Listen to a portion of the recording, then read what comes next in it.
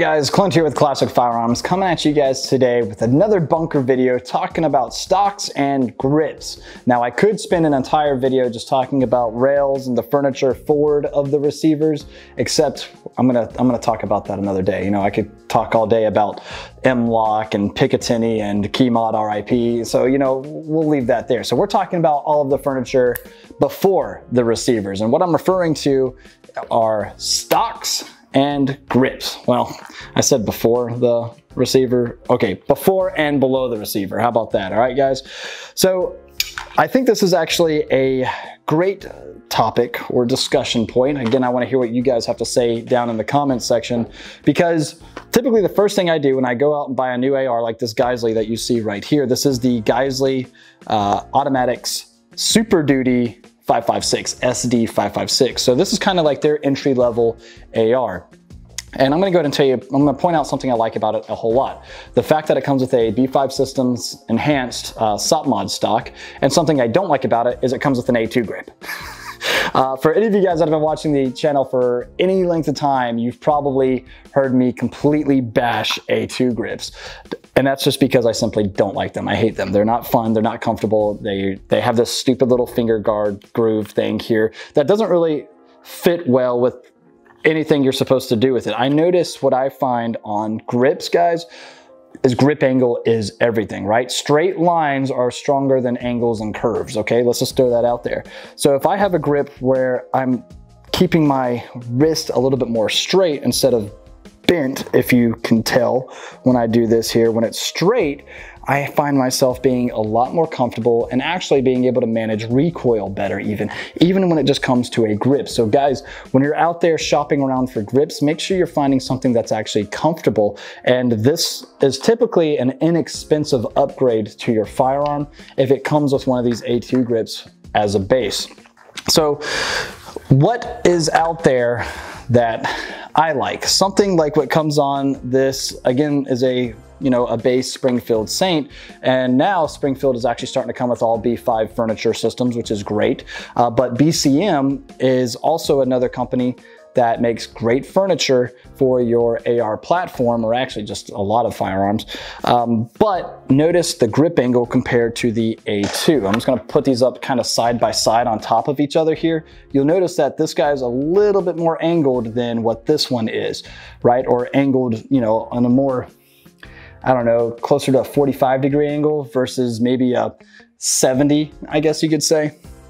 I don't know the exact grip number, I'm just looking and guessing guys, but this right here is so much more comfortable for me to get a grip on. I just really like it a whole lot better.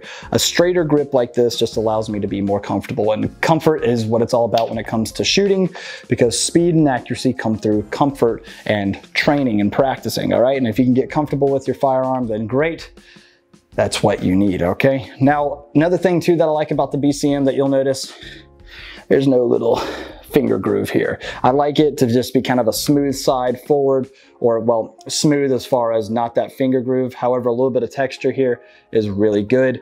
Like the stippling on the sides of these guys, pretty cool stuff. Now something else you'll notice really quick here is the BCM Gunfighter stock. And we've got these on our website if you guys are interested in these. Initially, I didn't know what to think about this guy uh, until I started to actually use it some. And now I actually like it quite a bit. So it's actually got a friction lock uh, uh, paddle to it here, if you will. And you'll notice that to actuate this guy so I can adjust its length of pull, I actually have to pretty much grab this guy and squeeze, and I'll try to show you the best I can what it is that I'm squeezing here in order for this to actually actuate.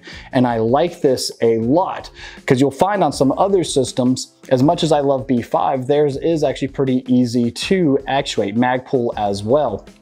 And because of that, you might notice it changing your length of pull on you on accident if it's rubbing up against your gear, you get it snagged on something, whatever it else might be.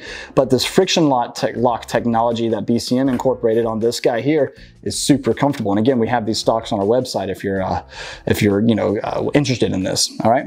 Something else that they added that's pretty neat on this guy here is, you know, they really, you can tell that they negotiated with somebody that knew what they were talking about, Haley Strategic, Grantham's dad. Um, and they actually incorporated this little hook right here for your Ranger bands or whatever else. If you're a uh, jarhead like myself, boot bands. and what is the point of running the bands that you see like this, guys? It's actually pretty simple. Um, some people will run them as cheek weld placement. You know, where do I want to actually rest my cheek? Uh, I don't think that's like its biggest reason as to why. Me, why I run them, if you saw our how to set up your carbine or AR, whatever it, whatever that video was that you guys watched and hopefully enjoyed, um, you noticed that I was using this to tuck my stock or my uh, sling through, all right? And it's very easy. Typically, I wrap mine actually around my stock and then, you know, cinch down the uh, rubber band that it usually is. Boot bands are good for it too, but they don't break as easy as rubber bands, so just keep that in mind, all right? Anyway, everything else on this guy is just really comfortable. Nice uh, pad that it's got on it as well. But this one here is also very slim. And I'll be honest with you, for my facial structure, I kind of like the bigger, bulkier stocks, and I'll show you what I'm talking about. Uh, like on this Geissele here, the B5 system stock has this, what's called the enhanced stock, has actually these battery tubes going through here. Uh, I still prefer the battery tubes. Why? Because I rock optics that typically take AA's or CR123s, you know, those ridiculous batteries, like my EOTech right here on my Mark 18. I have the Magpul, I think that's the CTR stock, that has those battery tubes on it, and I'm definitely a fan of those guys, all right? So you will notice though that the B5 system stock uh, that has that, you know, SOP mod look to it, pretty cool.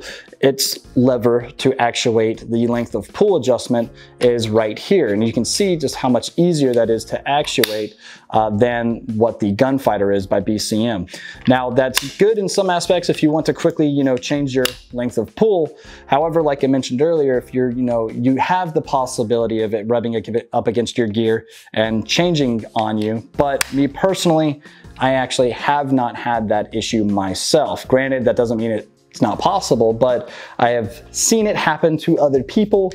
Um, so just take that with what you will. Me, I typically don't run into that issue. I don't know if it's how I just rock my stuff. I usually try to go a little bit more slim on the body. I don't know. Let me know if you guys run into any issues like that, all right? Uh, so other grips and stocks, I'll bring out the uh, Mark 18 again. Oh, my Gerber almost fell.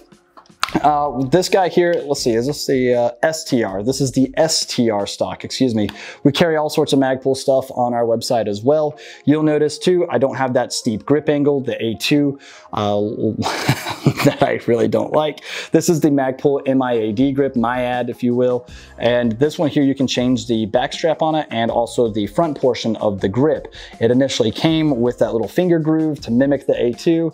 Immediately just threw that in the trash. I'll never use that. And and of course the back strap on here, I actually have one of the larger back straps because it actually felt really good for my hand and getting a grip on this gun. This is a very ergonomic and comfortable setup for me with this length of pull, this style of stock, and this grip and grip angle. I am definitely a fan of this, all right?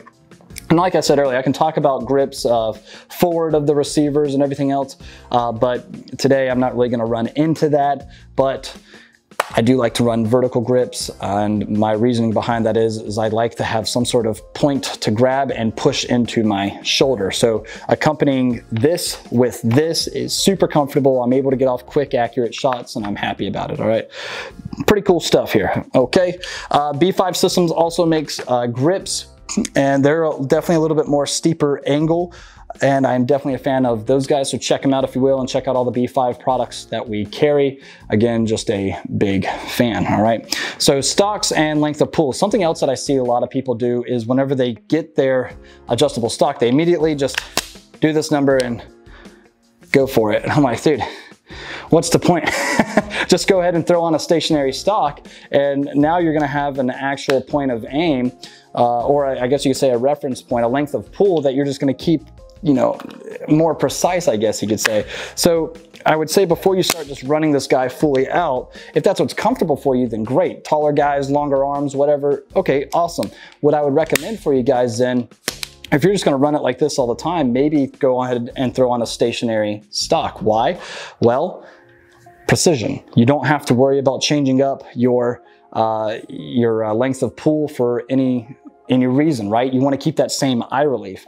The argument against that is, uh, well, no, I like this a lot, but hey, I need to be able to collapse it just that little bit to help stow it or travel, whatever else it is. So, okay, cool. I can understand that argument, all right? But the thing is though, if you don't have that issue with traveling, if you're always traveling in a, and you know, you got it like in a Pelican case or whatever else it might be, maybe running a stationary stock's not a bad idea. And I'll show you an example of that really quick. On my AR-10 build, which I set up more as a, uh, DMR, I'm gonna always keep the same length of pull to get the exact same eye relief for my Leupold optic here. And so I went with uh, Magpul's. This is just their MOE, you know, A2 style stock with a couple of QD swivels because slings are necessary. And so that's just how I run this guy all the time. I don't worry about a collapsible stock on this guy because I don't worry about traveling with it per se at that much. Okay, and the uh, grip on this guy, you'll notice something a little bit different. Check out all of our Sharps Brothers uh, products. This is something that they came out with that I just saw that I thought looked really cool, you know, wood paneling and things like that. I just thought it looked neat. So anyway, it definitely has a better grip angle than what the A2 does. It's slim, uh, doesn't offer actually any type of uh, grip texture, however, so just keep that in mind. But anyway, as far as the stock goes, definitely recommend a stationary stock if you're gonna be going for that same length of pull, same eye relief for every type type of encounter. Granted, if you're traveling, maybe you want that adjustability just so you can stow it a little bit easier, all right? All right, what else do I have here? I've got AKs sitting over here as well. Like this little Pioneer Hell Pup, uh, this guy here comes with the Fostech Echo AK trigger, which is pretty sweet, let me tell you. If you haven't seen our video announcing the uh, Echo triggers for the AK uh, platform, go check it out because shooting, you know, one round when you pull the trigger and then release it through an AK is a heck of a lot of fun. Granted, I am not a perfectionist with this trigger just yet, but I'm getting there. If you've got one of these and you've, you've, you've, perfected it, make sure you're tagging us in some videos of you putting in work with it, all right? Anyway, Fostech also makes some grips that are pretty sweet. These are their Saber grips rubber overmold, which I am a huge fan of. You really get a good comfortable grip on this guy.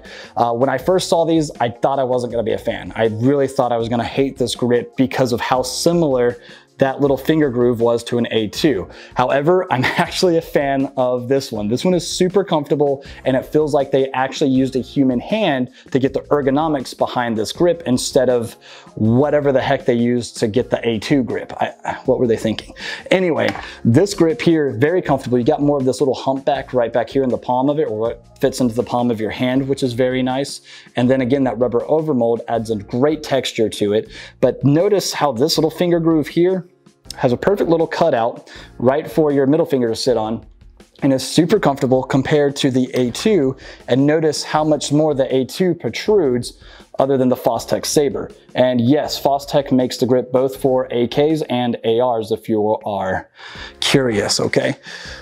When I got my Fostech rifle, I thought, again, the first thing I would be switching out, other than the stock and adding an optic and things like that, would be the grip. I kept the grip on there because actually how much I like it, all right? So cool stuff, guys. All right, grips, stocks, all that fun jazz. Uh, other type of stocks that are out there are ones that you can't really change, like on the AK hanging up on the wall. Uh, that is a NPAP underfolder by Zastava, and that is just a wireframe stock. And uh, all I did to that guy was wrap it in paracord or 550 cord, whatever you want to call it, simply because it's uh, it offers some something of comfort to rest your cheek on while shooting because a wire frame typically isn't that comfortable. All right. Anyway, that's that guy. Uh, I think we're all set here. Ryan, did I miss anything? We're good. All right, cool, man. So guys, stocks and grips, what is your favorite brand? Let me know down in the comments. How do you like to run your stuff? Do you like adjustable length of pull? Oh, one other thing too, adjustable length of pull. If you are like me and you like to share your firearms for other people to shoot, maybe an adjustable length of pull is kind of cool to have because then you can just pass it on to other shooters and they can adjust it to whatever's comfortable for them to get that appropriate eye relief if you're running an optic or whatnot.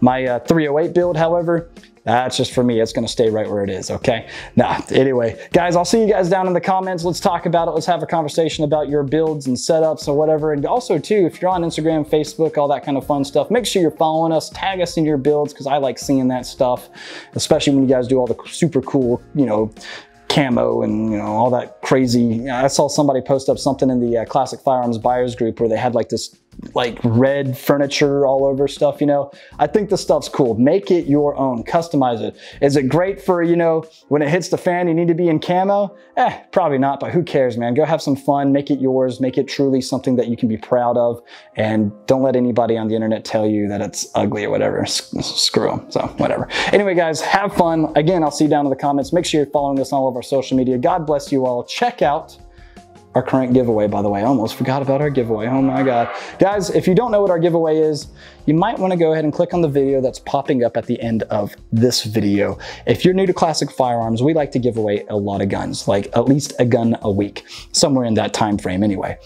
So uh, if you want to have the chance to be able to win a gun, no purchase necessary, head on over to our website, classicfirearms.com, click the banner that you'll see me probably cheesing real hard because I'm holding a pretty sweet gun because that's all we give away, a pretty sweet gun. So go check it out. You'll see all the different ways to get your entries in. All it takes is one entry, but the more, the better. Just keep that in mind. God bless you all yet again, and we'll catch you next time at classicfirearms.com.